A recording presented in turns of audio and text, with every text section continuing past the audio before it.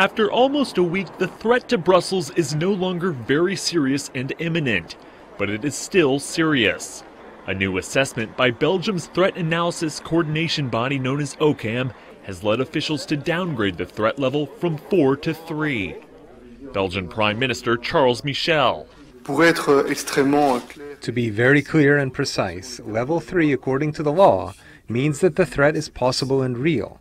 The reasons behind OCAM bringing the level from level 4 to level 3 leads us to believe that the threat remains serious, but that, according to the various indications, the imminent nature of the threat is no longer present in the same manner.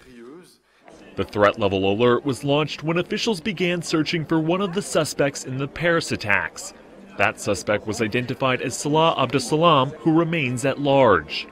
To keep the city safe, Michel says the soldiers would remain in Brussels le centre de crise. The Crisis Center proposes, and we are following this proposal, a maintenance of the presence of the police and military, a presence which will be adapted, but in a progressive way. Mais de manière progressive. The lowering of the threat level means the city's famous Christmas market would go ahead as planned, but this time with extra police and security.